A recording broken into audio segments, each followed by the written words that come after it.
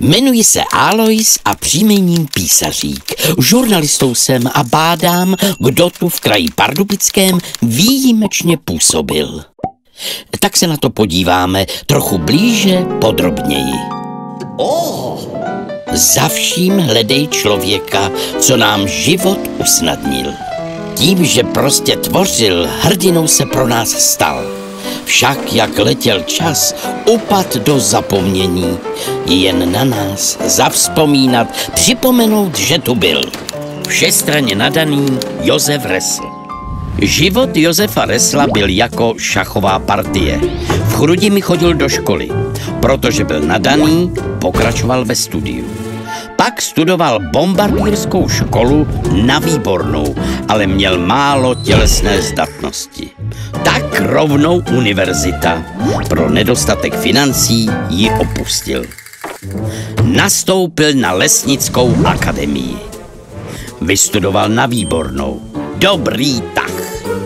Byl z něho lesní, pak lesmistr a dokonce CK námořní intendant. Má hlavu plnou nápadů, tak myslí i na vodu, jak zrychlit lodní dopravu. Už dříve napadlo ho použít Archimedův šroub k pohonu lodi.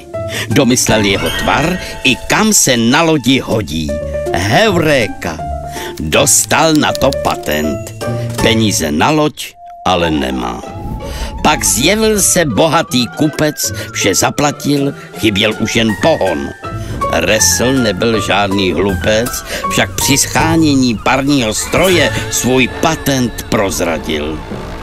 Vrátí se do Terstu, aby svou loď postavil. A je hotovo, plnou parou vpřed. Jeho loď rychle plula, ale zloději patentu byli rychlejší. Šachmat. Tahle partie má však dobrý konec. Po deseti letech od jeho smrti dostalo se Reslovi uznání.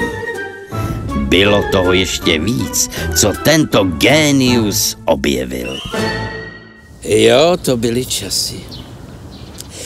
Dneska už jen vzpomínám na ty naše hrdiny, jak dokázali riskovat a snít. A proč? No přece proto, abychom se měli líp. A co vy? taky chcete překvapit? No tak to je moc dobře. A nejste v tom sami. Já vám totiž držím všechny čtyři palce.